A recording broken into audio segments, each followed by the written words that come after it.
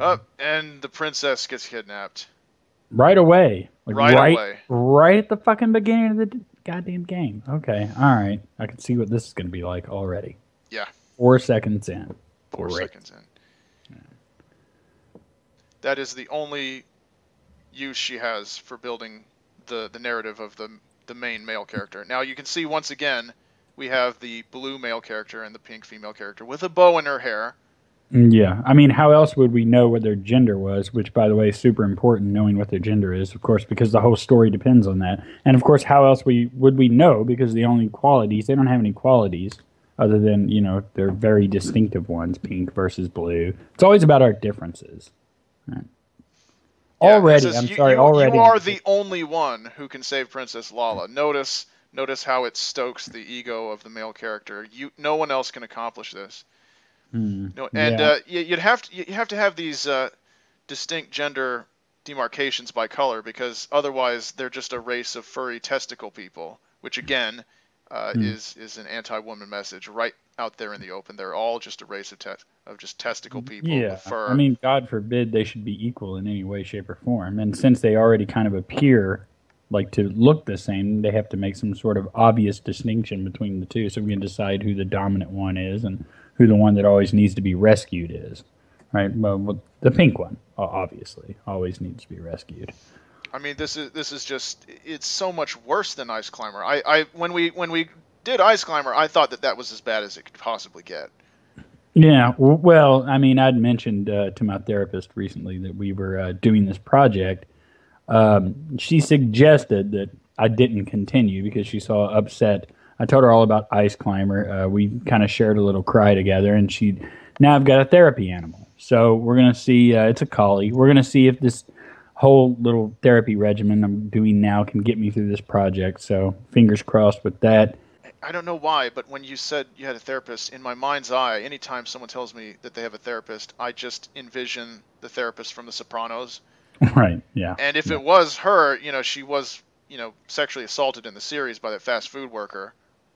Know, right. I, I mean, I if if it, it's a good thing that it isn't her because I'm sure that your your stories about Ice Climber would just bring back all kinds of traumatic memories for her. Yeah. Let's see here. So, rescuing uh, our damsel in distress in this game, what does that entail? I mean, uh, he's in this castle, right? Yeah. Owned by another male, I would imagine, because Yeah, they the- the don't great- want that own property. Yeah. I would say, yeah. Yeah. Got it. And basically, the female is just more property in the eyes of both characters involved. So, really, we have two villains sort of battling over the property that is a woman. Yep. Now you'll notice that his primary method of combat is so unspeakably sadistic. He he fires out a spell that traps them in an egg, and Mhm. they're inside there just screaming and gasping for air and clawing at the the surface of the egg, uh, and that's before he finally just kills them.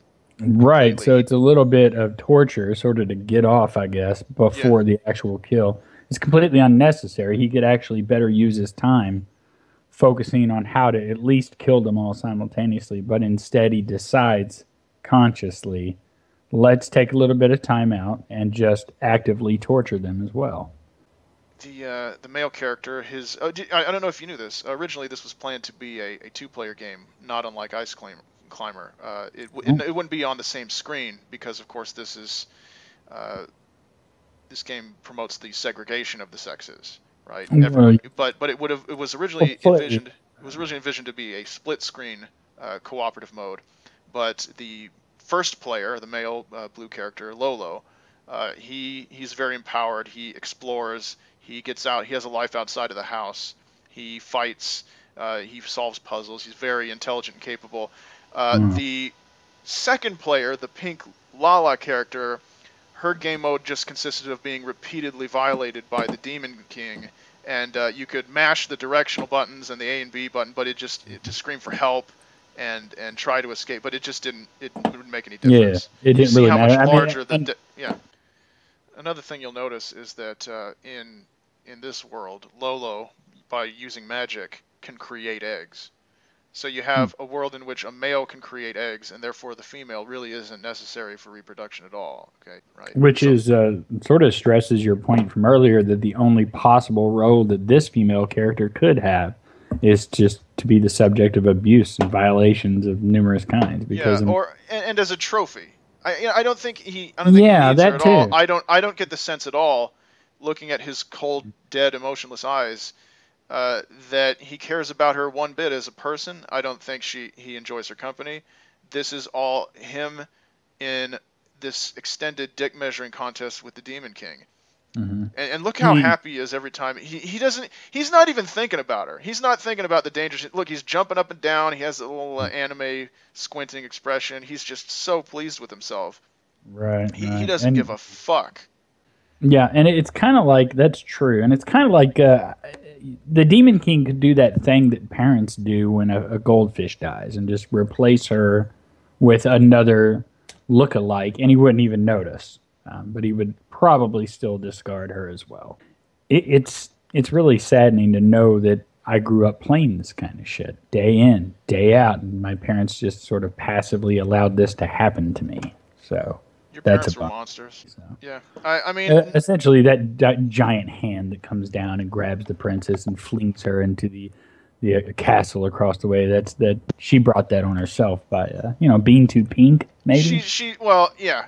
Just because she walks around completely nude, she you And know they're gonna say, okay, well, you know, she was dressed provocatively. That's a parallel this game shares with our reality, which is uh, public male nudity. Men walk around with their shirts off and their chests flailing uh, all Yeah. the time. Nobody says a word. Woman takes her shirt off. It's disgusting. She has to cover it up. Yeah, I mean, it's probably probably to breastfeed. And she's Now, kept t- indoors. a- for the majority If you take a look at these enemies right here, these are Medusas. Hmm. Uh, if one of them sees you, they kill you just by looking at you. Oh, that's interesting. That is as interesting as it is appalling. Yeah. Furthermore, the other thing you'll notice is that they're completely stationary. They're rooted in the ground, made to stay in the kitchen and uh, and stare people to death. I mean, I have to say this. Not since Dwight Yoakam's character in Sling Blade have I ever hated a character in fiction as much as I hate this Lolo asshole. Oh wow. Well, I mean, he's just such a despicable bastard. That's a statement. and just I'm not sure if you know how many floors are there to this guy's castle. That's another interesting question. I mean, how how rich and powerful is this guy he's going up against? His his house is far larger than anyone would really need. Um, Yeah. I, I think that the money used to build this castle could probably, uh, it, it could probably house any number of, of poor, struggling citizens of Eggland. Yeah, or at least uh, you know one citizen per every innocent creature being slaughtered in this fucking madhouse. Yeah. Look, look at he thinks he's just so fucking smart. He probably studied a STEM field that was completely off limits to Mm. the female students at the Egger Kingdom Royal Well- College. several, several probably. Yeah, I mean, in an environment like this, yeah, several. He was permitted to study higher math and problem solving and how to navigate uh, a maze like this, hmm while all the women just studied home economics. That and a few healthy doses of hunting with dad turned him into this asshole. Yeah. Oh yeah. Uh, there you go. Congratulations, asshole. There you go. One more fucking obstacle cleared. Yeah. It's like with every floor this guy climbs, the more I hate him. Yeah. And and what's really sad is once he uh, finds his way to the quote unquote princess, um, she will be just overwhelmed with gratitude. Yeah. Overwhelmed with gratitude that she gets to go back um, to wherever the hell this asshole lives.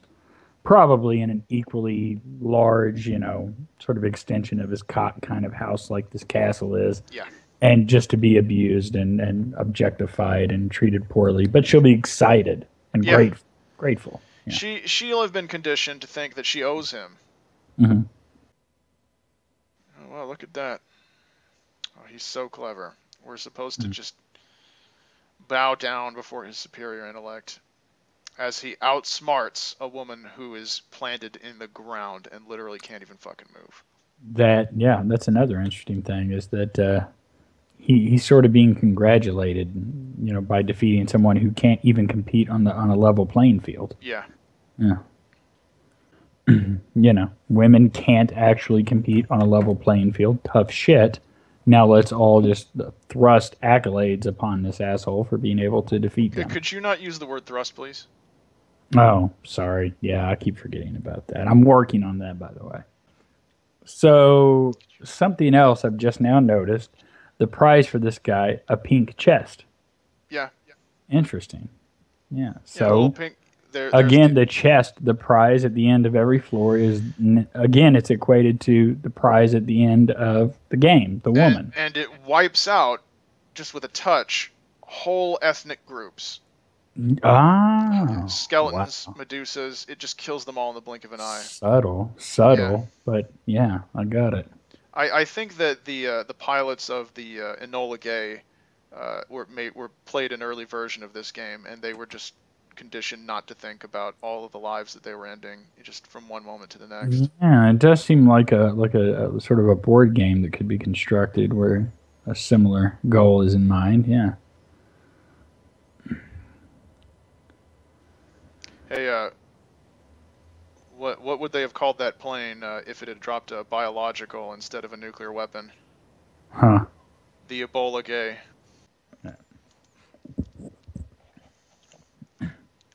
One thing, uh, one thing I'm noticing, and I don't know if I'm just imagining this or if the the person playing this monstrosity is just really good at it and practiced at it, but the puzzles really don't seem to be getting that much more difficult. Um, again, I don't know how much of this game you have to play before you actually get the your your prize at the end, your princess, which I don't know why they call her that. Um, but it doesn't seem like the obstacles are much more difficult than the ones that are were previous to that. I mean, it just seems like it's the more of the same old shit and the same old shit, and he'll just mindlessly go through it because he's just trying to impress everyone, right? I mean, it, it just doesn't seem like a. I guess the Demon King's not too clever either. I mean, Sarahan, did you know that even though half of the half of the students enrolled in the Eggerland colleges are female, only Right. 17% of them are castle and labyrinth explorers. hmm. Yeah. This again. Yeah, Hmm. and they get paid much less for the same exact work. Hmm. Uh, of, often the women don't even uh, feel the need to just annihilate everyone uh, before they go on to the next level of, their labyrinth, and, and they're actually punished for it. They're they're punished for their compassion. And again, like I've said before, I'm sure that 60% of them, at least, would Hmm. like would like to be. They would like to be labyrinth explorers. I mean, considering Like- how many of them get kidnapped and taken to such places, it Yeah, would be you a would useful imagine. skill to know how to escape from them. Yeah, no doubt, no doubt. But alas, once again, they're not allowed. They want them all to be little Medusas. Just stay where you're Yeah. supposed to be, and that's it. You're you're a distraction. You're a mere distraction and an obstacle. Even even more than that, an obstacle for men, and that's pretty much it. So. I mean, there's always a man who's trying to get a, a more interesting woman than you, a more attractive woman than you, something more suitable for him many of you don't fit that criteria, so you're just stationary obstacles in his way, basically. Um, and that includes the college environment. Right. I mean, women uh, on campuses are a little more than distractions for men who are trying to actually accomplish uh, goals that are meaningful, whereas uh, women are sort of taking up space and distracting all the, the serious students, aka people with penises. The, the other thing I find very negative about this game, I mean, there's a whole host of things, but Yeah. when you look at the the females uh, of this race, how they're just perfectly round uh, and pink, there, there's just no way that young girls in our society can ever hope to match that sort of body type. Well, no, and, and the message is, you know, the message is more about perfection. Yeah. About um, this is the way men look. And I think in this game, the appearance of the male is more of a projection of what the male expects. Yeah. It's not, it's, it's probably not even his physical appearance. It's a projection of this is what I want. This is what you should look like. And of course, the female falls in line and looks exactly like what the male expects her to look like. Again, all other women in the game who don't look that way, they're not being fought for. They're Yeah, being destroyed, Yeah, they're enemies. murdered. Right, absolutely. Again, just stationary obstacles, just just taking up space and distracting and even harming men who are trying to accomplish something worth accomplishing. Fucking disgusting. Okay, so now here he's making sure that he's perfectly safe and can go w- without without any danger, without any harm. He uh, traps all his enemies in, and, and then slowly walks through the sand, swaggering as he heads towards the device that will end. Strutting, sort of like a, a strut, like Yeah. a man strut. Yeah. Yeah, the the person who played this looks like they they really do uh, know what they're doing. They they've not really made a single mistake. Uh, they, Hmm. I mean, they let's face it, they play this game all the time, uh, and and they just uh, they just sit there and play this game and touch themselves thinking about Lala being violated by the Great Devil. Yeah, that and the fact that they they're not thinking at all. Like you said, I mean, this is none of this means anything. It's just uh, images, blips on a screen. It doesn't mean anything to them. Um, all the while, the the game is sort of uh, educating them on what uh, what society would be like in another 20, 25 years. Right? This is the kind of male we expect you to be. And I'm quite certain this guy is definitely a, a model citizen, as they would have had him.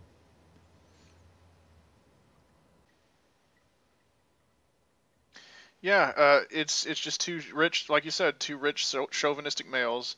And uh, what was that? Is it My Fair Lady, where the two the two rich guys make a bet that they can uh, turn an ordinary, uh, you know, poor girl into a lady of uh, of refinement? Is that am I thinking the right thing? Um, I don't know. I'm not Right. sure. But what, what regardless, it, it's the same exact thing, except instead of them saying, "Well, you know, I'll I'll make you a wager, fellow rich white uh, cis male. Mhm. I'll make you a wager that I can turn this uh, ordinary, uh, uh, you know, what is in some versions of the story it's a prostitute, in others it's just uh, some poor girl, uh, Mhm. some working class girl who's just trying to make her way." And then he says, "Well, I bet I can make her into a lady of refinement and a, a walking stereotype of of of, sh- of a sheltered, disempowered uh, woman who knows her place and and knows the the artificial etiquette that we have hoisted upon them, right? Right. Yeah. This is just a variation of that very story, except instead of saying I can turn her into a lady, it's like, well, I bet, uh, I bet I could, you know, he's like, I hey, bet I Lo- could hey Lolo, her. yeah, hey Lolo, I bet I can turn the princess into a, sexual assault victim, and Mhm. or he just says, yeah, you're on, and he just carelessly accepts the, the bet, and uh, and that brings us Right. to the current situation. I mean, this is he's he's as culpable as the as the the easily, can. and because I'm quite sure that the the female involved here has no idea of their little game whatsoever. Yeah. She's just a she's just the object in the game. She's just the pawn in the game. That's oh, it. here here it is. Uh, Two- this is the S. This is the rich, S, and he's got her in the palm of his hand. oh notice shit, that. fucking Oh. wrecked, Oh wow! Now- fucking wrecked. Now she's petrified. Something Yeah. terrible has obviously just happened to her, right? Which is interesting because you would have to assume she's been violent. And, And, now the they're in love. chauvinistic winking. And well, now they're in love. Look at that. One moment ago, only a second ago, she was utterly traumatized by this asshole. And the mere presence of this other asshole is enough to send her head over heels in love once again Yeah. in a, at a second's notice. Oh, man. Well, I'm going to be sick, so there's that. Here's the trees growing back for some reason. Suddenly, What? all the Yeah, dead- yeah. Everything that he strived to kill is now springing. Oh, I know what this is. This is everything springing back to life, so they could start over again. I, I think it's just a, a bunch of uh, climate change denialists saying, "Don't worry about carbon emissions. Uh, carbon is good for trees. Just keep killing and destroying and advancing your own position higher Right. and higher. Everything will be fine. Everything will grow back." And that's the end. Yeah, that's a really interesting one. And that is the end of yet one more horrifying tale. And I'm going to be sick, so thanks for this again. And so concludes The Adventures of Lolo, a sickening piece of patriarchal propaganda which shamelessly promotes blue cis male supremacy, simultaneously vilifying women while endorsing genocide, as each level finishes with the player plucking an ovary of mass destruction from a pink treasure chest. we give this game a final misogyny rating of three and a half Ray Rices out of five.